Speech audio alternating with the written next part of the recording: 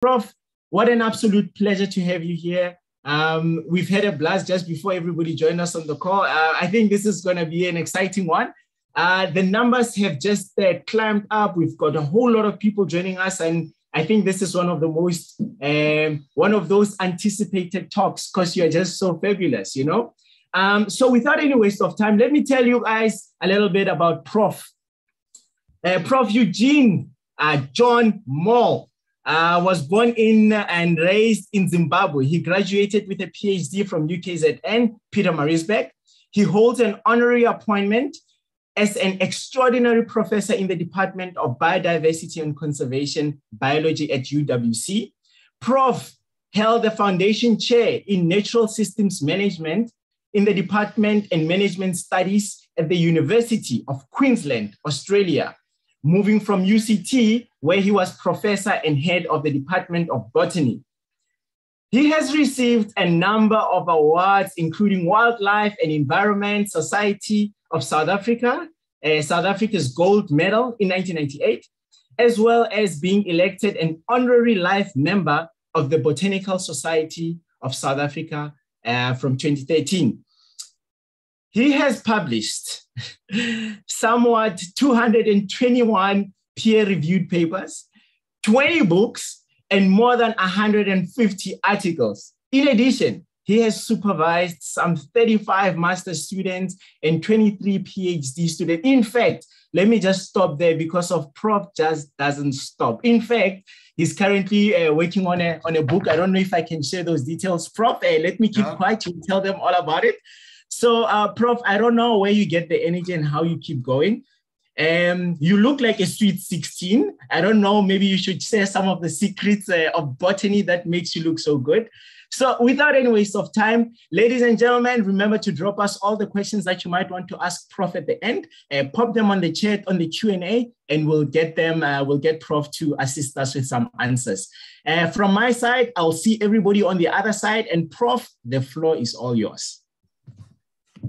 Well, well, John, thank you very much for that. Um, as ever, you give far too glowing reports. I've just been very lucky to have been in the right place at the right time I view my life as, as though I've never worked, um, but I've been paid for doing and pursuing my love of, of plants, particularly plant ecology and latterly trees. So um, we're working on two books at the moment, Trees to Trees of Kruger Park, and just a new project as I needed it, um, the Trees of the Waterberg, because there's a wonderful wildflower guide coming out very soon on the wildflowers of the Waterberg, and that's an excellent team. But let's get to the task in hand. This is the first webinar presentation that I've ever made, so I'm, I'm feeling a wee bit nervous, I guess, even though I might be 80 and, and have done this many times, but still talking to people you can't see is, is a bit daunting. Um, and I've adjusted my style a little bit to meet the requirements, I hope, of both amateurs and professionals. Um, and because the presentation will be made live, will be you'll be able to get it after this, um, everyone will be able to log in at, an, at another stage. So let me get on with, with it. The title is Fynbos, a Unique Cape Heathland, and it's really a tribute to Ray Specht, who um, 1924, 2021. And you may ask, you know, why am I paying Ray a tribute? And here's a picture of Ray in, in October um, 1979. That's Ray Specht here talking to Hans van Dalen and um, gosh, here we go. Mike Cameron in a Fynbos Island. Um, what's interesting about Fynbos Islands is that I don't know that we thoroughly understand their, their origin and their permanency.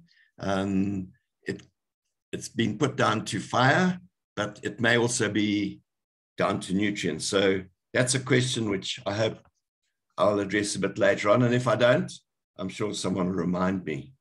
So Ray was key to my to my life because in 1978 I got a postdoc to work with him in the University of Queensland, and in that year I travelled oh, I know, 25,000 kilometers with my wife and two two small kids, and often in temperatures of 50 degrees, going to all the heathland sites that Ray marked on a map for me, from as far north as Cairns, down south to um, Melbourne and Adelaide, and inland as far as the as Uluru or Ayers Rock.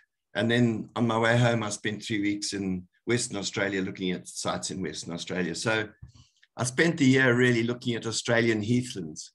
Um, and I got an understanding about what Ray's concept of a heathland was through that journey. And, um, and I think that, and then I came back, I learned more about South African heathlands in Australia than I'd learned when I'd been here in South Africa.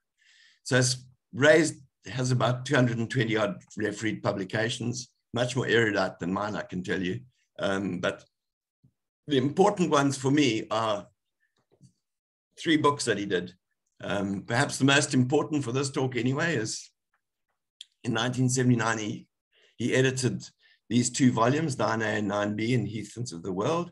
And in that there were chapters by Fred Kruger from Jonkershoek on the South African heathlands and Don Killick, who unfortunately now has passed on from Pretoria and SANBI about the African mountain heathlands. So um, and then later on in 81, he edited a book on Mediterranean ecosystems of the world.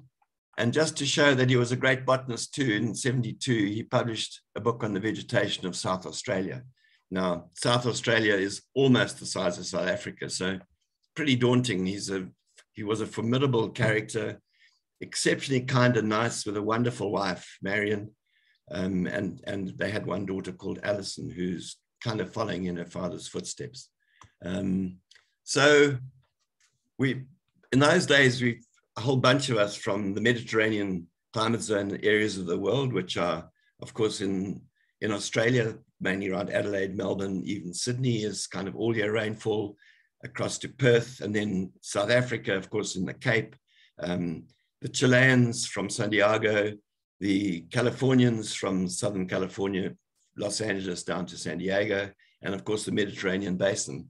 We had a group that met um, almost consistently. They still meet every three or four, five years um, at a venue somewhere. And um, the good thing about it is that we all bring a bottle of red wine to these meetings, and that's a nice icebreaker. So we drink each other's wine and we taste it blind and we vote who's the best wine. And I must say that South Africa has won many of the prizes. When I was young, like Fred Kruger in the middle here in this in this picture, at a meeting that was in the Portuguese matorral, organized by Fernando Catarino, who's on on my left, and Ray Specht is is on the extreme left. So Ray Specht, Fernando, Fred, Margarita Arianoutsou from Greece, and Phil Rundel from UCLA. So those were some of the major players, and still certainly Phil Rundel is still publishing vigorously. Unfortunately, Fred has died and Ray has died. Um, Margareta, I think, um, I'm not sure what she's doing, or Fernando, I've lost track of them. But yeah, so the, the important thing really about heathlands that I learned from Ray is that they are is that they're a vegetation type that is the only globally mappable vegetation type that does not or is not determined by climate. We all know tropical rainforests, you expect them in the Amazon, in the Congo Basin, across through Indonesia, um, and deserts you expect where there's no rainfall.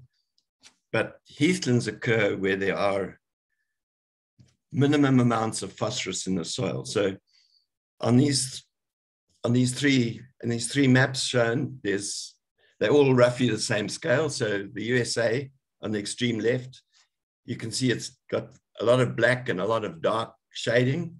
And that the black is the most phosphorus available and white is minimum phosphorus available. So if you compare the US to Australia, you see that Australia is mainly phosphorus de deficient or deficient or poor.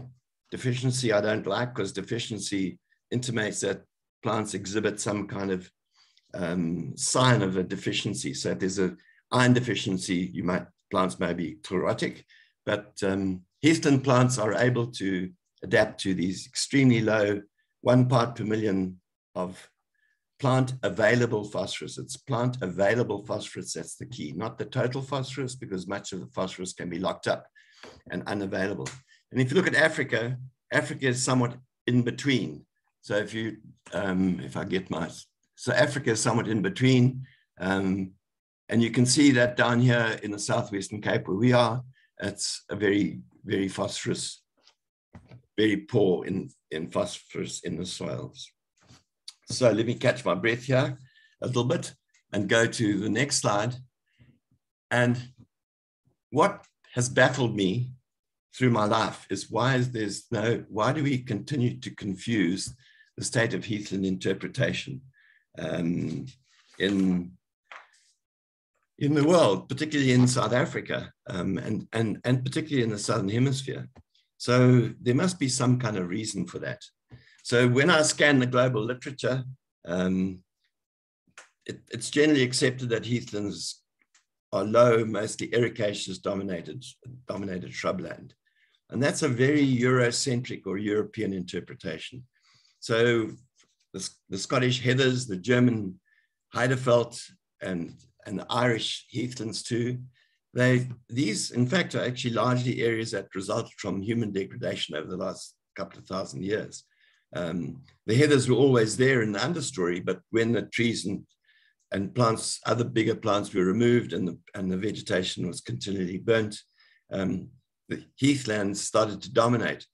And for me, one of the things that when I look at as a plant ecologist, when I see almost monospecific stands of any plant, then to me that means there's been radical disturbance. I'm actually looking at what I call a weedscape. So if you go to Scotland, uh, Highlands of Scotland, where's Calluna vulgaris, I think it might be Erica vulgaris. Now I'm not sure of their taxonomy, but that's not important. It's almost a monospecific stand. And that to me tells me that it's it's been hugely disturbed at some stage. And you know, when we disturb systems in nature, they don't always bounce back very quickly. Um, and that's a problem for us today and, and into the future but that's for another story. So the other thing is that ecology also has its roots in, in Europe, and it's still and it still characterizes the science, although the southern hemisphere, um, there's some challenges um, that I'm trying to get rid of these. I can't get rid of these.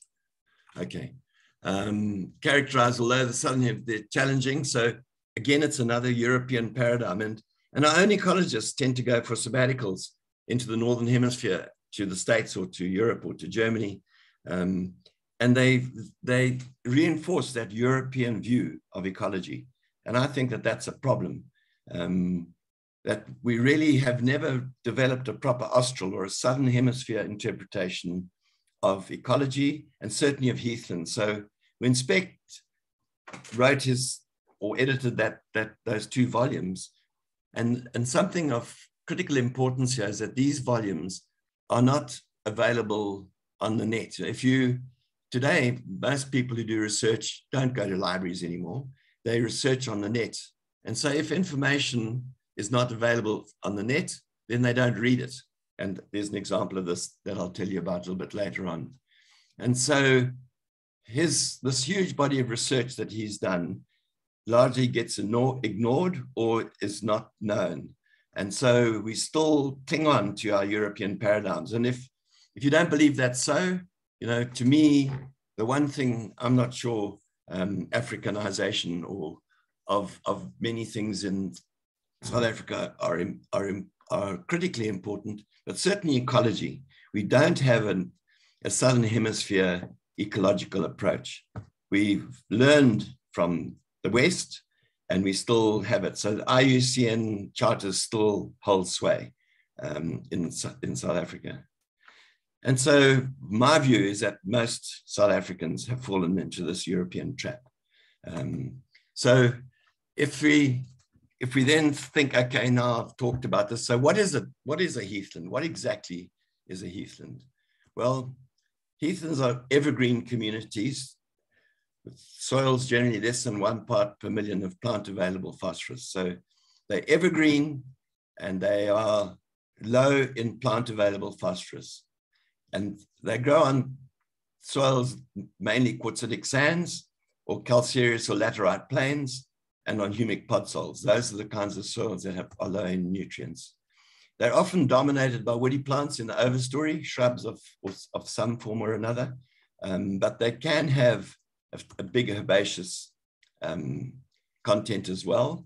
Um, but often that herbaceous content, it's very seldom purely herbaceous. It's usually mixed with some kind of woody component. They're not climatically determined. And this is, this is in essence very critical because when we come to our own South African map by Mucina and Rutherford, that big tome, Vegetation of South Africa, etc., um, it's based on biomes, and biomes are really about climate and plant form and, and function. Plant nutrient availability is not taken into consideration in the biome concept, and I'll get a bit more to that as well. A key ecological driver of heathland is fire, and I think we all know that. I don't think that that's contestable, to be honest. Um, the morphological adaptations that heathland plants show is sclerophylly, which is exceptionally hard leaves. They're very, very hard and tough. They can be small or they can be quite large. Um, they tend to be functionally bilaterally in terms of their photosynthetic surface. Now, that's, that's a big word. Isobilateral means that both sides. So if you have a protea leaf, it's got palisade tissue, if you remember any botany you ever did, which is that very hard columnar structural cell structure, both top and bottom. Um, so they are very hard, these leaves, and they have many different post-fire regeneration strategies. Um, so myrmecochory is one of the things, oh, that's better. Sorry, I've just improved this view on my screen. Um, post-generation strategies such as myrmecochory, which means antispersal, and serotiny, which means that the, the fruits of a woody plant are held on that plant until the plant is burned, and then and only then do the capsules or the, the fruiting bodies open to release seed. So there's some, it's not that they're not myrmecochorous plants elsewhere. There are some in, in forests and woodlands, but the vast majority are in heathland by, by far. Um, and that was unknown until of that, that seminal work by Slingsby and Bond. It was published in Veld and Flora, I think, some, I don't know, 30, 40 years ago. Um, and thereafter, it's become much, was much better known. And what's key to me is, and something I didn't know before 1978 when I visited Australia and did all those, those plots and miles and miles and miles of nothingness, is that that's, it's in Australia where most heathlands occur with the largest variety of structural forms. And they occur from Cape York in the very far north, which is about six degrees south, to southern Tasmania, um, which is way south of us, from the east coast to the top of Mount Kosciuszko, which is the highest mountain on the Great Dividing Range in, in Australia, through the arid center to Western Australia. And next in terms of the largest area and structurally different types is Africa. And in South Africa, we have large amounts of heathland in the Cape Floristic region, but also in the Drakensberg, in Pondoland, in Tongaland, and various other places as well. So they're not confined, heathlands are not confined to the Mediterranean climate zone, which is still something which people in this country and others from other Mediterranean climates keep publishing stuff about our so-called fynbos being a Mediterranean type shrubland, which to me is not correct. Finally, there are ancient communities with evidence going back to the Permian, so back as much as 250 million years, and hence their species richness. I mean, something we've just learned recently in the last 10 years or 15 years or so, and work by Bond and others, that our grasslands are much older than our Afromontane forests or our forests because of the much greater plant diversity. So and heathlands have even a greater diversity. So to me, they, they're older. And Ray covers this in, in his book. So having said all of that, I'm sure that people are wondering why, um, where heathlands begin and grasslands and savannas end or begin. So if you think of a gray scale from black to white, and on the black side, you have pure heathlands, which is the typical ericaceous stuff that we see in Scotland, for example and on the and white is is pure grassland.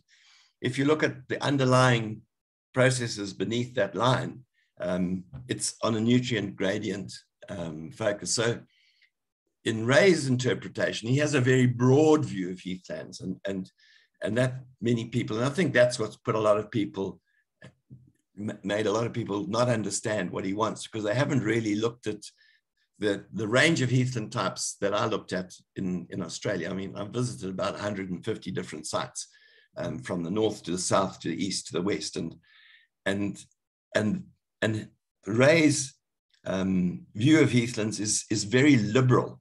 Um, so he, if he was applying this information in South Africa, he would include um, parts of the miombo woodlands where Protea and Faurea can be an understory. That would be one of that, he would call that a heathland.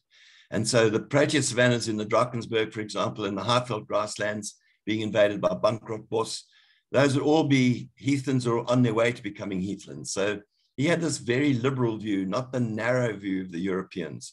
So I've tried to encapsulate that in a, in a gradient below, and I'm going to take a little bit of time to explain this because to me this is quite critical. So here we have soil surface and here's our white grassland going to our black, the conventional European heathlands. So the grasslands are dominated clearly by grass and the heathlands are dominated by mainly shrubs, these blocky things, and these upside down triangles are graminoids. And those graminoids for us could be restios, sedges, and even some grasses. So that's at the one extreme. And then down below, the nutrient gradient from high phosphorus availability, plant availability, down to low availability.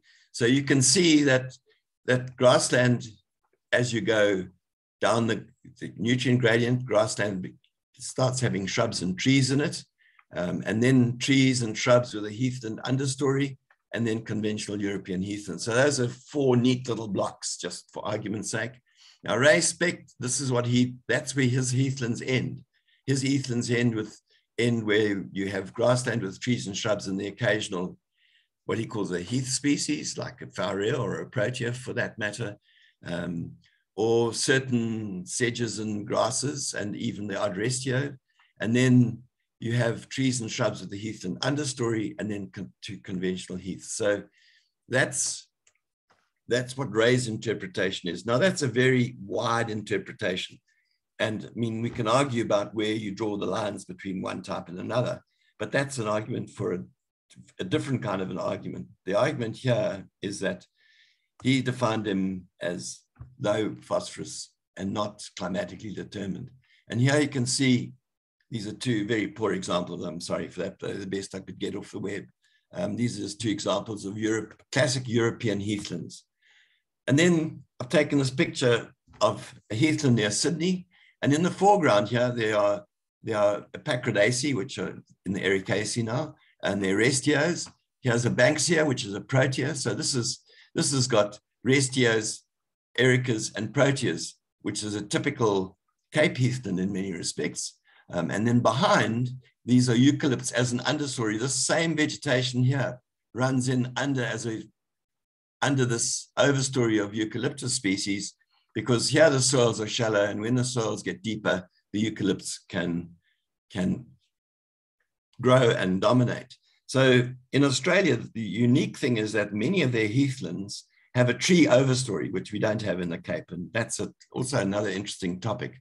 Classically, these are what we know as heathlands or mountain, what we'd call mountain fynbos, what I would prefer to call um, mountain Cape Mountain Heathland fynbos, um, because to put them into a global recognized category, we should call them heathlands because that's that's what they are generically globally. As the birders have done, they've they've they've got a standardized list of bird names now for the whole for the whole planet. So if you're an American and you you, you see a spurfowl in South Africa, you know because you know what it is because you have them in in the states. That's why many of our francolin species went to spurfowl because of those, those relationships, those phylogenetic relationships. So here we have a classic Cape heathland with, with um, here it happens to be a leucadendron. They're, they're Restionaceae in here as well as Ericaceae and, and many other species. So that's, that's, and it's on quartzitic. You can see a bit of a quartzitic rock at that far, on that far side. So then I, I, I got some photo, better photographs from Manning's book. You know, John Manning's written this lovely book on, on fynbos, so available from Struik Nature. And so here, three examples of, of restios, which are common. Um, the one in the middle is, is Elegia, and it's common on wet sites. Um, we have, I think, six or 700 species of Erica alone in this, in this Cape floristic region, which is their center of endemism. Um, and then, of course, we have the Protea overstory. And these Proteas, of course, Protea, there's several genera, they're leucadendrons, leucospermums, and others as well. And if you go back to the ericas, they, this ericoid leaf form is also present in many other families, um, in the legumes, for example, in the phylicas and, and many other um, genera. So if we look at the global distribution of Restionaceae, Proteaceae and Ericaceae, um, I've done this just to show that Restios have a southern hemisphere a Gondwana. They have a Gondwana distribution a large number in, the, in, in Southern Africa, but an enormous number in Australia, and a few scattered in South America. And then there are a few outliers that have presumably over geological time been able to get into the Northern Hemisphere, into Eurasia. Protea is, the Proteaceae are much the same, although they are much more widely spread. Um, they, their, their nutrient requirements are not, they're able to survive in slightly and survive. And when I say survive, compete with other plant species. I think that's critical. They can compete with other plant species in slightly richer um, phosphorus soils. And you can see that Proteaceae essentially is also an old Gondwana um, distributed family. But when it comes to Ericaceae, Ericaceae is, you can see it's really Eurasian. It's mainly in, the, in Europe, but those are things like um, now I've got to rack my brains, azaleas and rhododendrons and those kinds of things.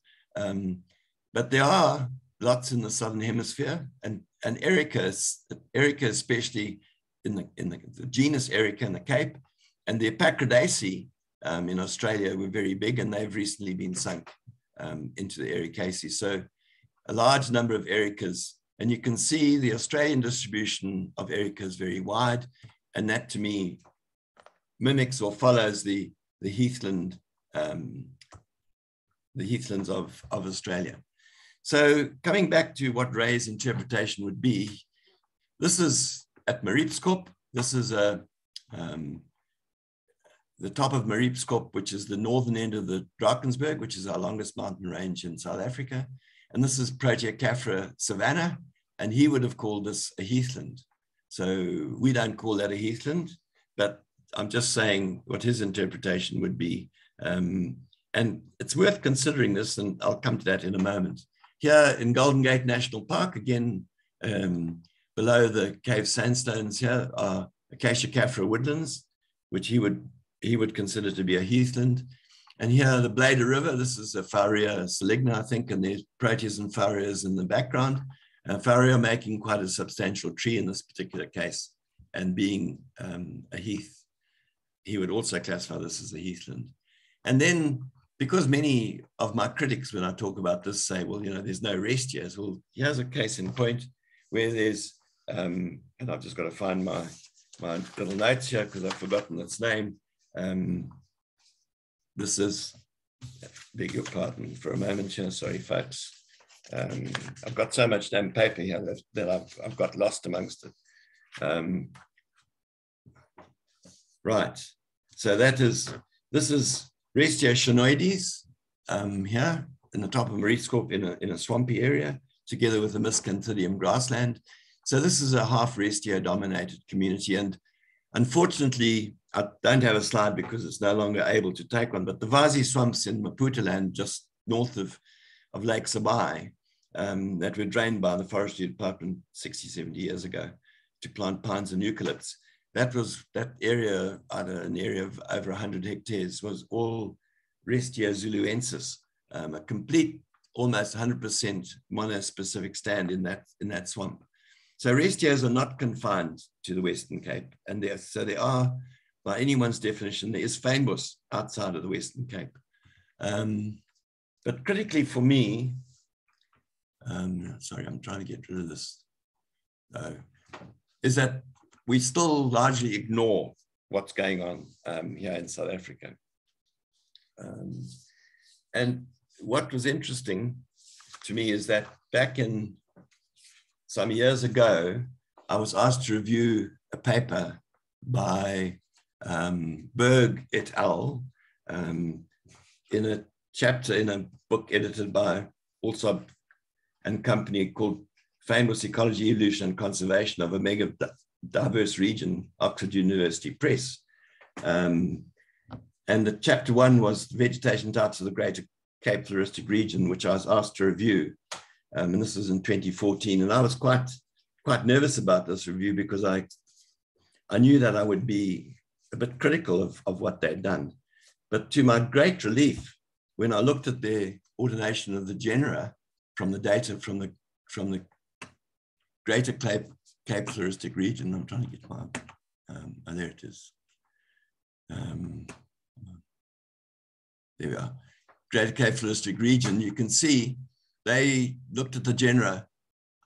They've taken out the Afro-Montane forests because those are such outliers. I mean, they're so different from anything else. They're not shrublands anyway, and they're a relic of a, of a previous, more wider, widely dispersed vegetation type. But if you look at their, their fynbos, their fynbos, these are the fynbos genera, and then these are the Renosterveld genera. These the subtropical thicket, or what Acocks called Strandveld, which I prefer that name to be quite frank, but then maybe I'm a bit old-fashioned. And then the succulent karoo. So you can see that fynbos grades through into Renosterveld, and that grades the Renosterveld elements in subtropical thicket and subtropical thicket elements in Renosterveld, and succulent karoo, succulent karoo, and vice versa. So you can see there's a gradient and I would, if they'd done the nutrients, you would see from very nutrient poor to more nutrient rich um, and nutrient richer up there and down there. So, so at the generic level, they showed that there that that the fynbos that we call what we call fynbos is in fact um, a recognizable recognizable special form called heathland and not to be dumped as many people do together with Renosterveld um, into a Mediterranean type shrubland. So I think that that, that confusion still reigns. And in a recent publication, in fact, I had an altercation with Phil Rundel a couple of years ago when he was here with a group from UCLA and said, come on, Phil, how do you, you know, we were in Cape Point and said, look at this, this is not Mediterranean, this is a heathland.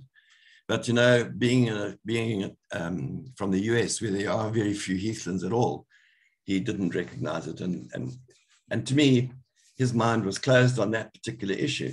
And I think my critics might say my mind's closed on the Heathland issue, but so be it. I think you've got to look at the facts that you can get from the literature. Um, so where am I?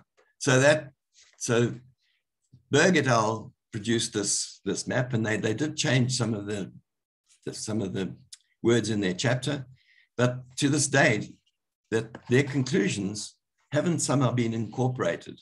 So this was work done in 2014, which is seven years ago now.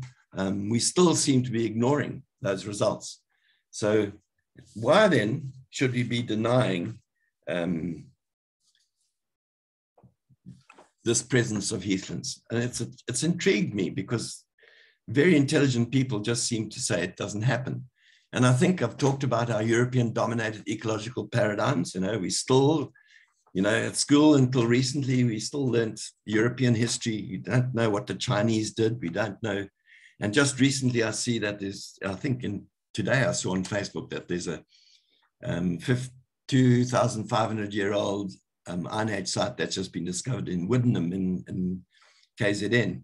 Um, you know, people have done a lot more to this planet than we give them credit for, I think. And so it's also, I think, our is it our ignorance or is it just our persistent rejection of the peer reviewed literature?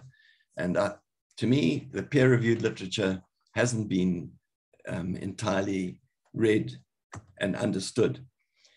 And of course, the, the, real problem for us in the Cape is that there's this coincidental, coincidental co-occurrence of the Cape Floristic region in a Mediterranean climate zone. Um, however, if you think about it, Yet much, there's much fynbos in the vicinity of Makhanda, which is the old Grahamstown, clearly demonstrating that the Cape Floristic region is not climatically constrained, as Makhanda is in the southern, is in the summer rainfall area. Um, but we still talk um, a la many people as MTEs. We have an MTE Mediterranean terrestrial ecosystem. And then our continual use of a biome as a basic reference point. I'm, I'm not, I think a biome um, concept is really very good, but I think it also comes with problems. I mean, the biome concept was something that Clements evolved in the early 1900s with a very Eurocentric ecological view. He also had the whole climate, climate, climax concept, which has been, has been challenged quite um, a lot nowadays. And he defined biomes as the largest basic unit of a biological community encompassing the flora and fauna.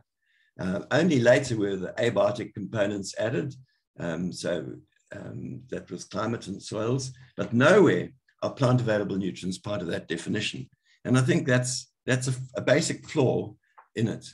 Um, and so let me go, and then the last of the Falklands, which is just a, a fun thing. Let me go to the biomes. You can see this is Mucina and Rutherford's biome map.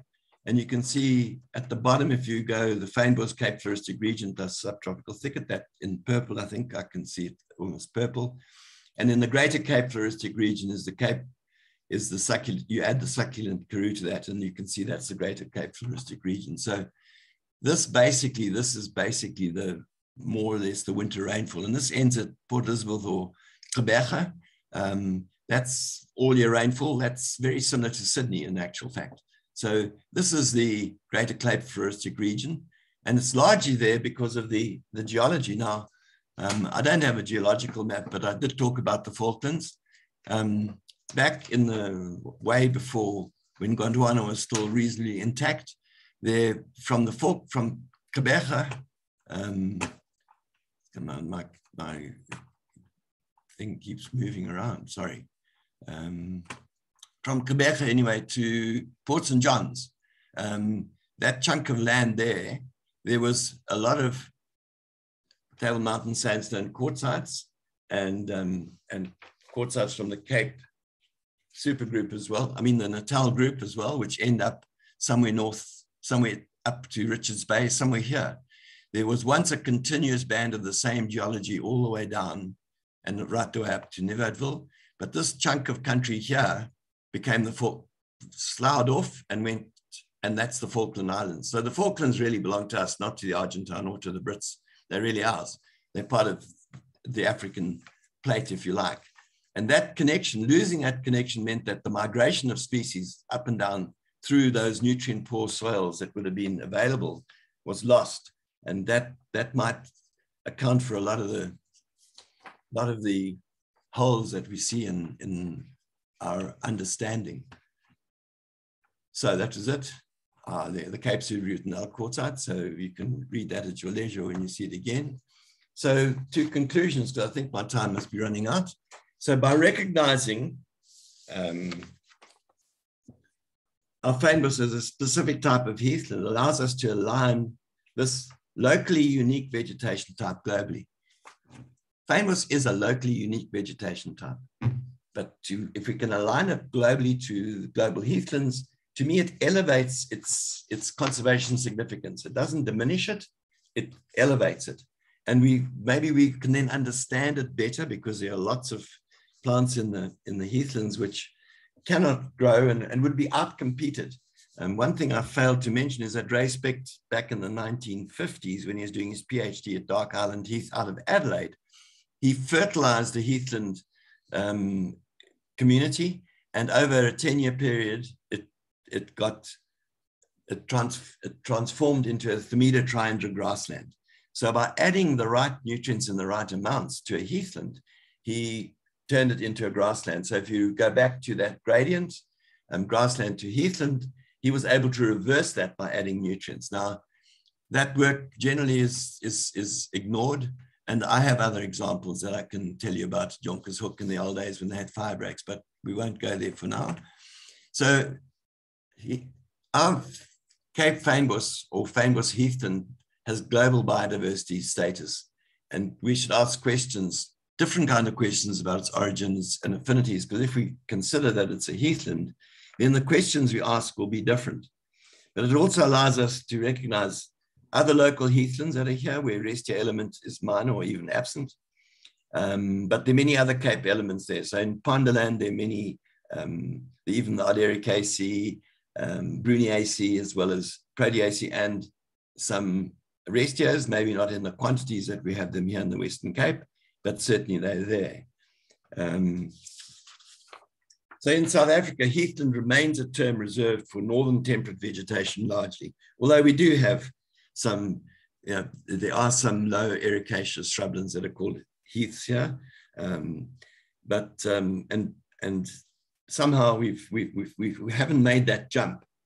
So to me, if you look carefully at what Specht has, has published um, over his lifetime, is that heathlands are essentially a southern hemisphere um, vegetation type, largely, mainly in Australia, with big areas in the southwestern Cape. And here in the southwestern Cape, instead of having the fynbos biome that we have, we should really have a Renosterveld biome and a heathland biome that, that just coincidentally co-occur in the same um, in, in the same geographical area, but not on the same um, nutrient gradient levels. Um, and those that resist using the word climate famous is different.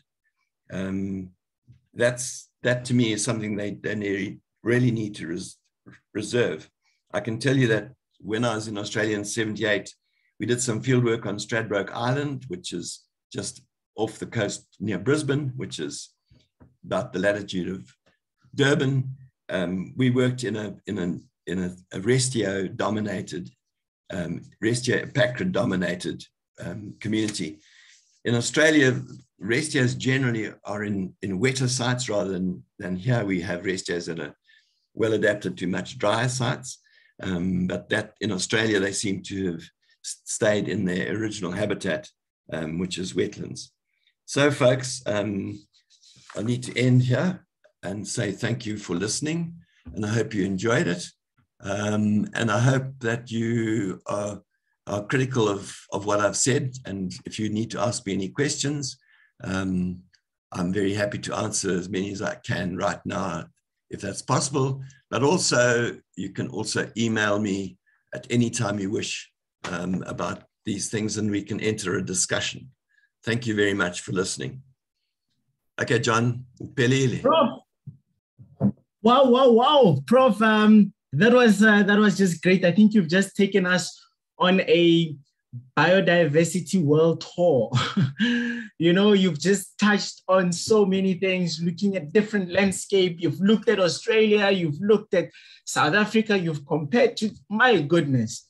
Um, thank you for your passion, Prof. Um, we really, really, really appreciate it. And I think, um, you know, I think more and more we need to appreciate that um, the world that we know it, if we don't look after the environment, uh, it will cease to exist. Um, so yeah, so we look forward to just um, picking your brain on how do we, you know, sustain all these beautiful ecological infrastructures, natural infrastructure that you've just uh, uh, talked to us about. Uh, but before we do that, let me just take a quick question from Anonymous, uh, Anonymous attendee. Um, he says, Prof, um, how come um, is plant available phosphorus so low when there is lots of phosphorus in the soil? Uh, for example, there are phosphate mines uh, on the west coast, and um, so what is your view on that? Okay, that's that's an excellent question, and thank you, Anonymous, for that question because it's uh, it's very pertinent. The phosphate mines on the west coast are, are um, are they calcium phosphate? I'm not sure of the exact form that the phosphate's in, but it's in a hmm. form that is not dissolvable. It doesn't dissolve into the soil. So yes, there's high total phosphorus. Absolutely. That's not a, that's not the issue, but it's the available phosphorus. So they're very um, plant ecophysiologists have got other ways of measuring phosphorus availability. And it's the phosphorus availability that's so critically important. And anyway, the vegetation in the West Coast Park there is probably a is probably what I call Strandveld. It's not a it's not a heathland anyway.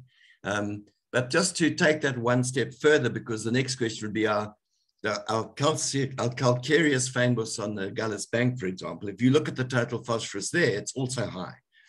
But if you look in the root rhizosphere, that's the very narrow little band of, of soil that the roots can access. The mycorrhiza of the Ericaceae, for example, those fungi, which are so important for many of our plants, but not for all heathland pl plants, by the way, that, that those mycorrhiza are mining that phosphorus and then giving it to the ericas. And in exchange, of course, they get carbohydrates and, and, and things that they need. So that um, symbiotic relationship is very critical. But again, even there, the total phosphorus levels are high, but it's the plant availability that's the, the critical thing. It's and phosphorus can be, I mean, we've got phosphorus in our bones. It's not available to the body. Um, and we need ATP in every cell. And that's a that's another interesting story. Yep. I hope I answered the question. Uh, Prof, um, yeah, and, and if you haven't, um, we will just keep punting it again and again and again. Prof, okay. let me just ask this quick question. Um, what is the impact of climate change um, and how is, how is the soil composition sort of adjusting itself to the, you know, to the midst of climate change that, that we're experiencing uh, globally? Okay, well, I think that's a good question too, and it's one that I certainly don't have an answer for. But I can say that that these heathland sites are old, going back to the Permian, I think it is. Um, so, you know, several hundred million years they've been around and they've been through all kinds of um, climate changes. Um, I personally, yes, we with climate change, we will lose plants, but not so much in the heathland. The, the plants that are really, really going to be hit very, very hard are in the succulent karoo.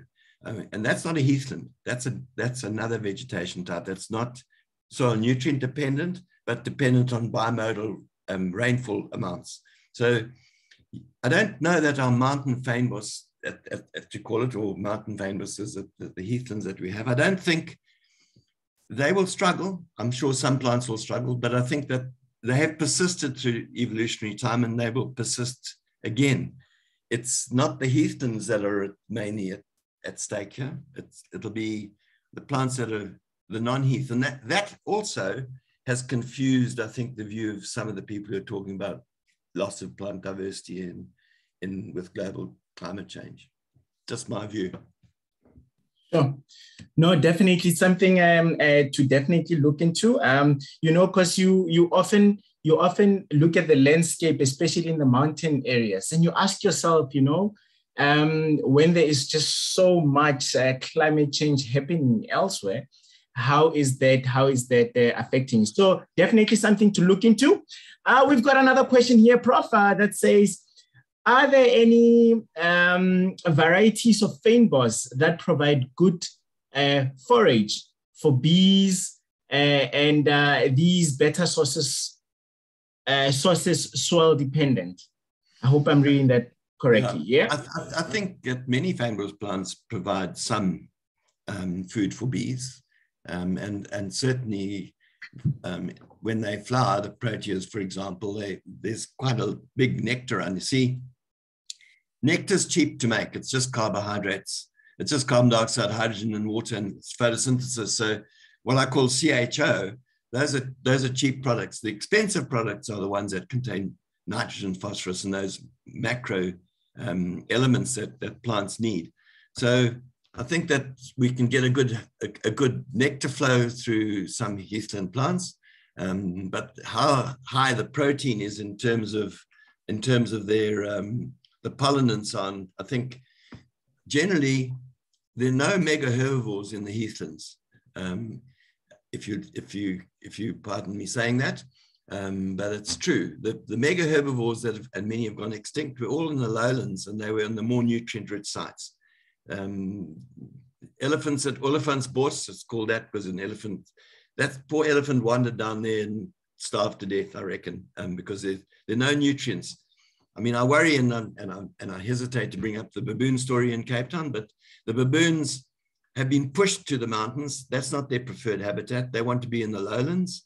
Um, and, and that's why they will keep pushing into the lowlands where people live and, be, and are that kind of a problem because they are hungry. They're starving in the, in the heathlands because heathlands don't have high nutrient productivity. You, you know, the old herders, they didn't herd their livestock because um, 1500 or so years ago, there were cattle and sheep in the Western Cape or sheep goats. We think they were sheep now. Um, and they were on the lowlands. So the old San um, herders or Khoisan people, they herded on the lowlands. They went to the mountains for their souls and to paint, um, not to go and eat, I don't believe, anyway. Sure. Prof, um, I gotta tell you, this is um, yeah, some interesting stuff you, you're sharing with us. Wendy says, um, how does invasion uh, by alien plant uh, species affect soil availability phosphorus? Um, what are the implications for restoration uh, post clearing of this invasive species? Well, I, th I, think that's been looked at quite effectively um, by some people, and, and, not all that research is necessarily um, available or, or, or, people follow it. Um, certainly, the Australian acacias that are invasive on the lowlands, not necessarily in the fynbos sites, again, not in the heathland sites, they tend to be off the heathland sites. Um, the only exception to that rule is black wattle, and let's talk about that maybe separately. But if you look at the the Australian acacias that have phyllodes or broad broad leaves that are the petioles that are, they tend to be in the more nutrient rich sites and they certainly elevate the nitrogen in those sites and, and that's a problem. And so I think William Bond and some students once said that the thing to do when you've cleared Port Jackson or in the lowlands is to plant a, a, a quick growing grass crop that you can burn. And so burn the nutrients off and, and somehow you've got to reduce those nutrients to allow the natural vegetation to come back. Because as soon as you have elevated nutrients, non-fynbos plants, non-heathland plants, and non-restio, I mean non-renosterveld um, plants, they they become more aggressive and they're able to outcompete. I think there's a lot of this. I once had an argument with a horticulturist from Kirstenbosch about saying, well, if I fertilize my pots with ericas, they grow really well. I said, yes, but put that erica in the in the natural environment and then the other things will come and steal those nutrients and outcompete that erica. It's not the same when you have a, a, a contained specimen. When you when you're out there facing all the competitors, then it's a different story. And I think that that tends to be forgotten. That competition is fierce um, in natural systems. I hope I answered the question. If not, send it back to me. Ah, don't worry, Prof. Um, we got you on lockdown. Eh? We've got your email address. We've got your social media networks. We're going to be just on top of you. All right, let me take this um, uh, last two questions, Prof. Um, uh, Marty asking a very important question, which um, I'm particularly interested in as well. Um, and the question goes, will invasive species possibly displace fynbos? What's your thought uh, on that, Prof? Well, you see, I, I, think Port Jackson, and I see it's Port Jackson there. Um, yes, Port yes, Jackson's yes, really a, it's it's really a it's really a Strandveld species rather than a heathland species. Um, yes, it does it does creep into those heathland sites that are. The problem in the in the in the Western Cape is that we have steep environmental gradients, not just in elevation but also in soil. So often we have this very tight inter interdigitation between heath and non-heath, and that's complicates the separation as well to some extent. So um, mm-hmm. they are a problem, absolutely. Um, but they're more a problem on, on the sort of um, aeolian sands that are a bit more calcium rich and they seem to be able to access because they've got not very aggressive nitrogen nodules. Um, well, they're not aggressive, but they're very effective. And you've got to remember that, that these Australian acacias evolved in Australia where nutrients are even less available. So when they come here, they suddenly see, oh, this is a much richer place. You know, I've moved from Khayelitsha to Kirstenhof. Now I've got more nutrients, there's more, there's more stuff. So people in Khayelitsha are poor people. In, in Kirstenhof are a bit richer. In Constantia, they're richer still. So if you look at it at, at, in monetary terms as nutrients, you can see that, that these plants are, because they're more effective in because they evolved under low nutrient conditions where they have slightly more, they then be, can become more aggressive and none of their predators have come with them. So there's this, this whole thing about predator release. It's, it's, it's complicated and it's, you know, I don't see, when, when I see alien plants generally around South Africa, um, I see them in growing really well in areas where we have heavily disturbed the situation. where, where you have strong natural vegetation that's still intact, aliens have difficulty in invading. Um, the invasion is really a factor of our misuse, our disturbance of the systems. And so we have to then be aggressive to take them out. And that is, takes energy. Energy is money. So it can be done with care. Sure. Prof, let me just take last two. Um, yeah, you know, um, you know, as you continue with this amazing discussion and uh, very thought-provoking, um, Claude is asking us a question. Says, "How do uh, geophyte, uh, geophytes, fight? I hope I'm pronouncing that correctly, yeah. Prof. Uh, fit uh, fit into the heathlands?" Very interesting question. In, in actual fact, um, um, yeah, I if you look very carefully, I think that Cowling and company wrote a very interesting paper, and I can find that somewhere on geophytes. Geophytes are, are actually rare in the heathlands. They really reach their maximum development in the Renosterveld and the Strandveld. Um, and and people say, oh, that's not true. You know, there are all these geysers and things, but they're in little they're in little niche sites. They're in wetlands or rock crevices.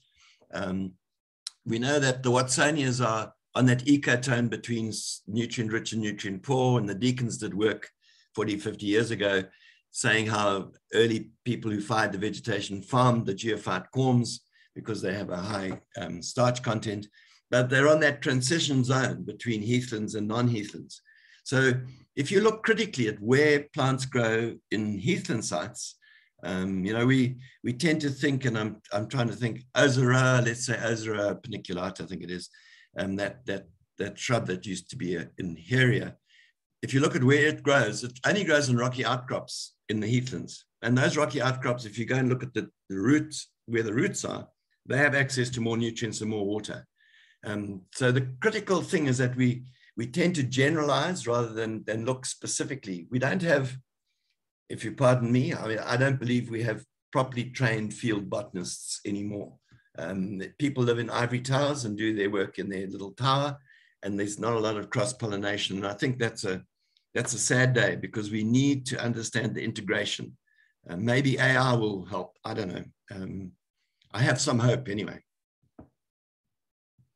Definitely. Uh, speaking of um, artificial intelligence, um, uh, we need to just uh, uh say, Prof, you did very well with technology. Um, you managed it quite well. Um, like you said in the beginning stages, you said, "Oh, you haven't done really much of this, but you handle this like a pro. You you're a natural at this stuff. Eh? You should do more of this uh, webinars, actually."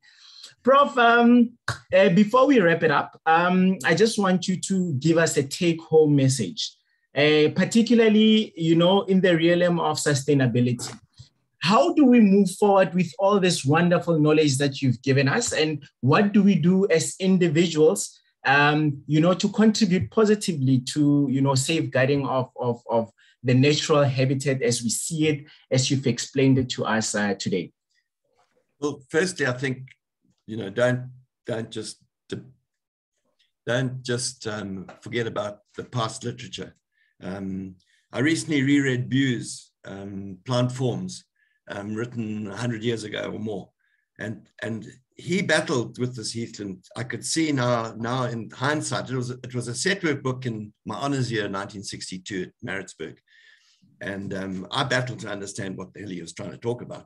Now, many years later, and with greater understanding, I can see that, that Bews, who came from the Northern Hemisphere, was a European. He wasn't used, but he did a lot of interesting stuff. And not only Bews, but people like Smuts and Phillips and some of those original white guys, largely, who looked at, um, at looked at South African vegetation.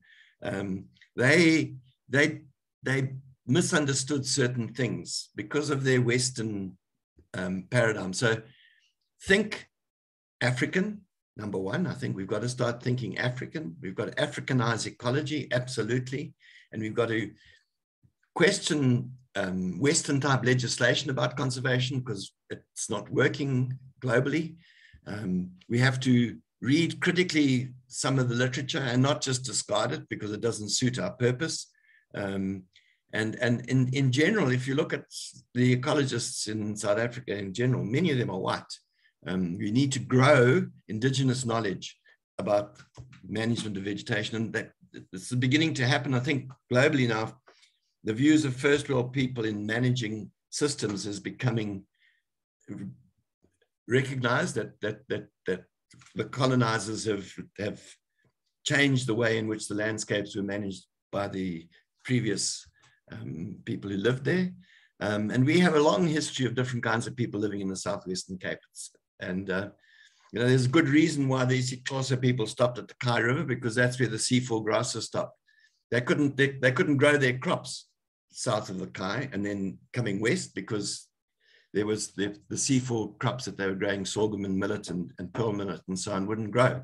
So um, we've, we've got to take into account our, our broad ecology, try and understand it better um, and, and, and, and discuss it, you know, not just write old farts like me off, you know, as, as irrelevant. Um, but that be that as it may, um, I don't know where we'll go, but it's, it's fun.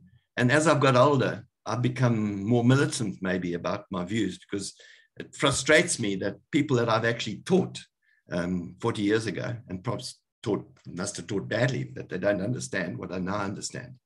So I, I've kind of I think I've learned in my journey through life, and, and others have stagnated with their journey. They're not really learning very much. So that concerns me. So yes, let's open our minds. Let's accept um, other views that, that are, but views on fire, for example, and nutrients. We need to understand what's happening to the nutrients. That we start with the geology and the soils and build up from there. And I think that that understanding would help us, even with water conservation, perhaps. Angas. Wow, Prof. Um, yeah, think African, um, improving uh, indigenous knowledge systems, um, I think, Prof, you've just said a mouthful there, and I think that calls for another book. no, I'm not going to write another book. Thank you for the offer, but no, believe me, I'm finished.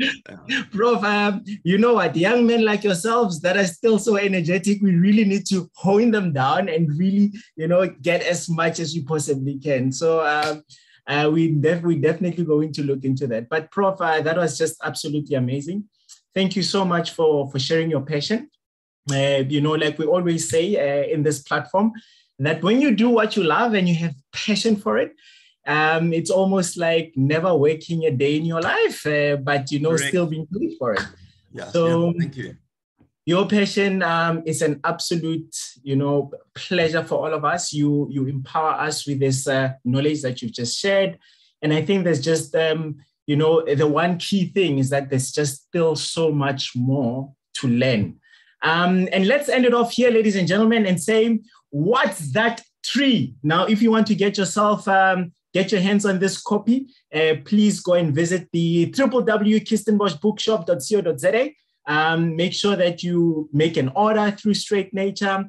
Check our social media pages, like, like, like, like the Kirstenbosch page, as well as Struik Nature as well as um, our friends from Room to Grow. Um, get yourself this book. I think, um, you know, the weather's cleared up nicely. Uh, let's check out the trees and let's go out there and explore uh, what this beautiful nature has to offer for all of us. Now, ladies and gentlemen, without any waste of time, Prof, it's been an absolute pleasure. Let me also take um, this opportunity to thank uh, all our team that are working behind the scenes, Belinda um, and the team back at Struik, um, Kathy Abbott, you know, you know, for always going out of your way, finding this amazing, amazing speakers uh, just to come and share wisdom with us. Uh, thank you, thank you, and thanks most importantly to everybody that's joined us on this call. Without you guys, these talks would not be possible. We have three more talks um, lined up, and we're planning to end off with a big uh, big celebration. We're going to be chasing uh, with our glasses of wine. Uh, Prof, please make sure to prepare that gin and tonic. For the last talk, we're just going to have a celebratory, uh, you know, just to celebrate uh, the journey that we've taken on our online webinars. Um, we'll be doing some giveaways as well. Uh, I don't know if I should say that. Maybe the team will say, John, stop, stop, stop. but we plan to do some giveaways uh, in that last talk. So please um, gear yourself up. The next talk is on the 10th of November, and we will see you guys there. Prof, last words from you in 15 seconds. What do you say to the people? Ngabonga Kakulu. Thanks very much, everyone. Uh, yeah, whatever. Contact me if you disagree or agree or whatever. I'm happy to email chat. Go well. Awesome. Awesome stuff. Prof, you couldn't have said it best. Um, so everybody remember to vaccinate. We've got elections coming up on the 1st of November. Uh, so get yourself up for that. Let's go out in numbers. Let's just enjoy. And most importantly, get yourself a book. And then let's go and explore this beautiful nature. From my side, John, uh, and from the team that we work with, thank you, everybody. See you guys next time. Have a great weekend. Cheers, Cheers. bro. Cheers, everyone. Cheers, John. Sharp, sharp. Thank you. Thank you. Sharp, yeah. Sharp, sharp. No. Off.